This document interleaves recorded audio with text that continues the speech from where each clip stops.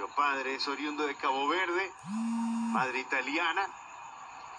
El quite es limpio en el centro del campo y el avance de la Juve con Compañón, el remate que se desvía, quedó una segunda y un recorte. Compañón, gol.